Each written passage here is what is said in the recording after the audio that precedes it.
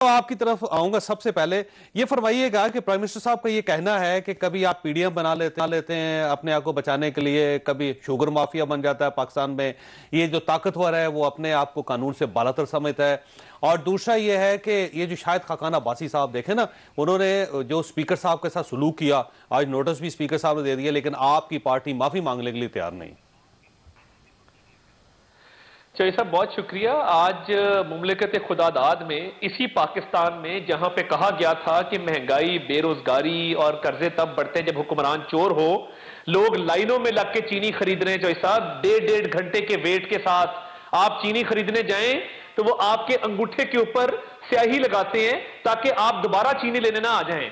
यानी जो गरीब आदमी बेचारा इस मौसम के अंदर, रमज़ान बाज़ार के कतारों में लग के चीनी खरीदता है नए पाकिस्तान में तो उसको स्याही लगाई जाती है कि ये एक मरतबा शुगर माफिया ना? प्राइम मिनिस्टर साहब इसी चीज़ का ज़िक्र कर रहे थे आज कि ये शुगर माफिया बना लेते हैं यहाँ पे। जी ये यही है ना जी यही तो माफिया के सरगना कौन है? मुझे आप बताइए। और ये देखिए चोई साहब ये बात मैं कर करके थक गया हूँ कि जब इस मुल्क में चीनी की किल्लत थी जब पैदावार कम थी मांग ज़्यादा थी तो उसको बाहर के मुल्क एक्सपोर्ट करने की इजाज़त जिस वज़ीर आज़म ने दी, उसका नाम इमरान खान नहीं है। नहीं पता था कि शुगर एडवाइजरी बोर्ड कह रहा है कि किल्लत है, भाई मत भेजो।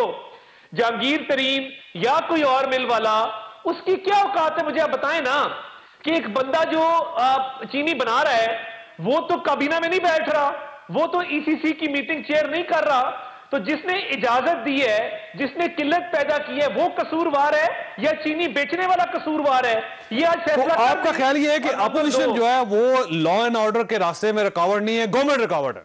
ये वो माफ़ी है आपका ख्याल। चौहद साहब बात यह है बात यह है कि जो 22 अरब की सब्सिडी बुजदार ने दी मतलब क्या बंदा अल्फाज इस्तेमाल करे?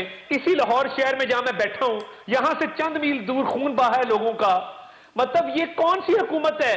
ना मीशत कंट्रोल में है ना फॉरेन पॉलिसी कंट्रोल में है ना लॉ एंड ऑर्डर कंट्रोल में है। एक एक तंजीम को कदम करार देते हैं चार दिन बाद उससे मुआदा कर लेते हैं। ये कौन लोग हैं? ये कहाँ से आए हैं? ये चाहते क्या है? मुझे आप बताएँ। जितने स्कैंडल है वो आटे का हो वो चीनी का हो वो अद्वियात का हो। आखिरी बात आखिरी बात आखिरी बात सुन ले। दूसरा ये फरमाइए एक आखिरी बात आखिरी बात माफिया आपके दौर में बनता है आप अपोजिशन पे डाल देते हैं। ये तारफ साहब रुकिएगा जी। जैसा बहुत शुक्रिया आपने मैं सिर्फ़ एक बात करना चाहता हूँ कि जो इन्होंने निकाला नदीम बाबर को ये हम्म। ये सर्कुलर डेट के हवाले से आईपीपी के हवाले से बहुत बड़ा स्कैंडल आने वाला है और ये इतना पायलअप हो जाएगा कि ये कंट्रोल नहीं होगा। ओरिएंट पावर को जो उसकी प्राइवेट कंपनी उसने अच्छा काबीना में बैठ के फ़ायदा दिया है। तो ये माफिया इधर बैठे हुए हैं? जो माफिया की बात चले। शुगर का शुगर का काटल जो है। वो मोहतरम नवाज़ शरीफ साहब के खानदान की मिले। मोहतरम जरदारी साहब के खानदान की मिले और जहांगीर तरीन साहब खुसरो बख्तियार साहब ये सारे मिलके पिछले तीस चालीस तो आपकी सुन लेना मैं मैं मैं मैं कह रहा हूँ ये इनकी मिले हैं ये पिछले तीस चालीस साल से ये एक अलेजेड किस्म का एक मुबैना तौर पे एक काटल था जिसका सारा फ़ायदा दो हुक्मरान खानदानों को और बाकी जो पॉलिटिकल लोग हैं उनको जा रहा था ये तारीख में क्रेडिट सिर्फ़ इमरान खान साहब को जाता है कि जिन्होंने इस शुगर कमीशन बनाया और इंक्वायरी की। उसके बाद आप लोगों ने कहा कहाँ गई वो रिपोर्टें तारड़ साहब बड़ा अख्तर आपके सुन लेना सुन लेना। हमारे साथ कोई है। कि नहीं है?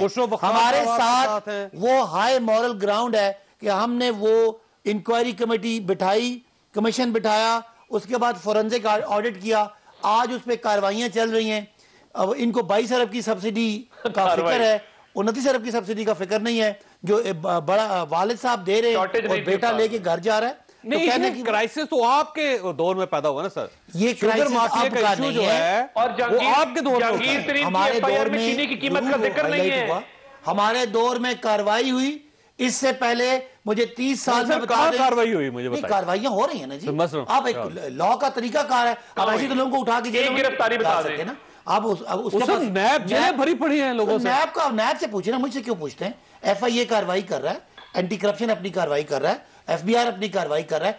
आप कम अज कम इमरान खान को बाकी सियासतदानों से अलग तो समझे ये कम अज कम कार्रवाई साहब जिनके बारे में प्राइम मिनिस्टर साहब ये कह रहे थे उन्होंने शुगर माफिया बनाया उन्होंने डिनर रखा हुआ था उन्होंने एमएनए और एमपीएस इकट्ठे करने थे। प्राइम मिनिस्टर साहब की तरफ़ से मैसेज आया अब ये जहांगीर तरीन साहब प्राइम मिनिस्टर साहब मिल रहे हैं वो डिनर कैंसिल हो गया यानी इफ्तार डिनर कैंसिल हो गया। तो इसका मतलब ये हुआ कि शुगर माफिया के साथ फिर आप दोबारा मुलाकात करेंगे। पिछली बात पहले सुन लें कि इमरान खान साहब को आप ये समझें कि तारीख का पहला लीडर है जिसने इस माफिया को एक्सपोज किया वरना वो तो माफिया मानते ही नहीं थे। अब रही बात कि हमारा एक ग्रुप है हमारी पार्टी के अंदर जो समझता है कि जहांगीर तरीन साहब के खिलाफ कोई ज़्यादा है नाइंसाफी है हम्म। और वो वज़ीर आज़म को अपना कंसर्न पहुंचाना चाह रहे हैं हम्म। उनका ये राइट है किसी के साथ भी अगर नाइंसाफी सर कंसर्न तो अदालत में जाना है ना सर नहीं प्राइम मिनिस्टर साहब अदालत ये इमरान खान है नवाज़ शरीफ नहीं है कि जो उनको माफ़ कर देंगे वो जो भी उनके केसेस हैं जो कानूनी मामला जब मुलाकात होगी तो माफ़ी होगी सर। नहीं, नहीं मुलाकात कौन करना चाह रहा है? क्या कोई मुलजम करना चाह रहा है? ये मुजाकरात देखें ना अभी आपने लाहौर में किया आप, तो बात खत्म होगी। नहीं, तो ये भी मुजाकरात हो जाएँगे तो ये भी बात खत्म अगर पार्लियामान के मेंबर वज़ीर आज़म से मिलना चाहते हैं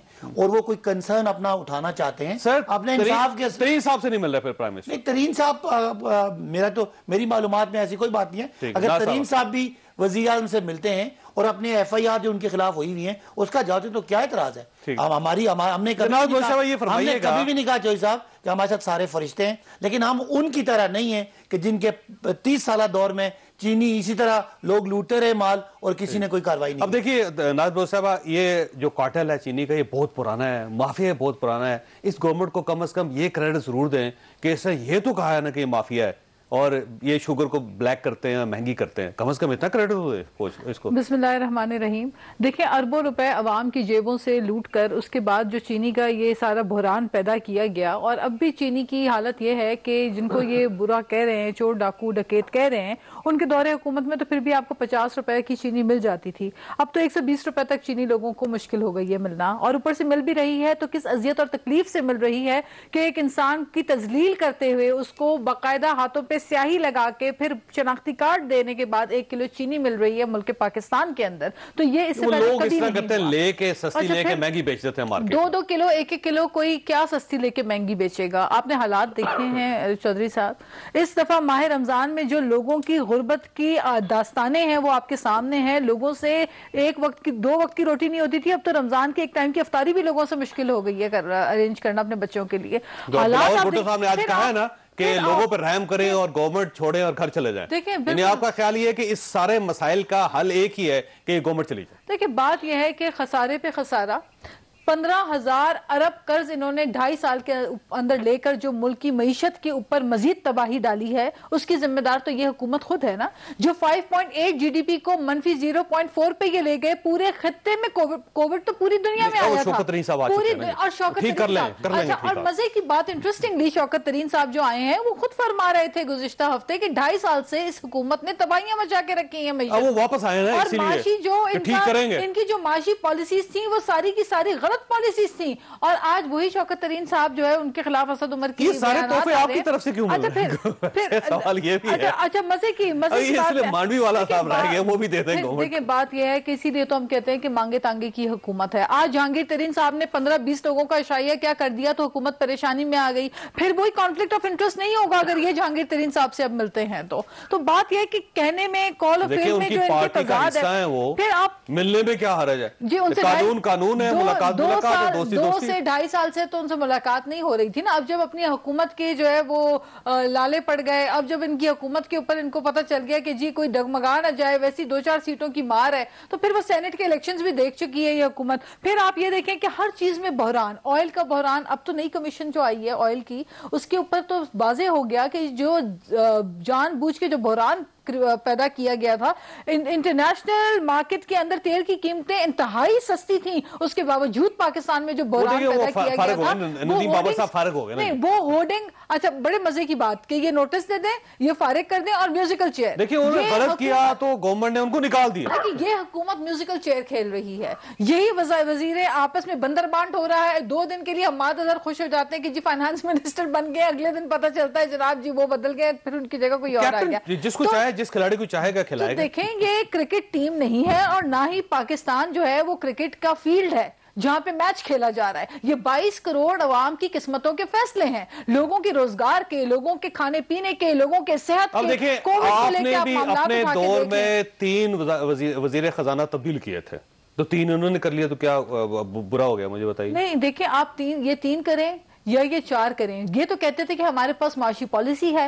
ये तो कहते थे हमने छांट मारे हैं तो दुनिया भर से बहुत ही बेहतरीन इकोनॉमिस्ट हमारे पास मौजूद है। हम आएँगे तो हम ये कर देंगे हम आएँगे तो हम इतने अरब आईएमएफ के मुँह पे दे मारेंगे। आईएमएफ तो आपके मुँह पे दे के मार रही है सारी महँगाई। आईएमएफ के कहने पे तो आप स्टेट बैंक को आईएमएफ के हाथों देना चाह रहे हैं। तो आपकी पॉलिसीज़ क्या है? और पार्लियामेंट सबसे बड़ी बात पार्लियामेंट देखिए इनकी पॉलिसी ये है कि इनकी कोई पॉलिसी नहीं है।